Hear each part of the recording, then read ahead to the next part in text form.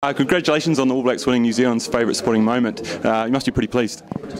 Yeah, well, I think. Uh, well, we sort of felt the uh, how excited everyone was when obviously won the cup, and yeah, I suppose I think it touched pretty much everyone in New Zealand. They felt a part of the World Cup because it was here, and, and I suppose the All Blacks winning sort of topped that off. So that was, I guess, reflected how they voted.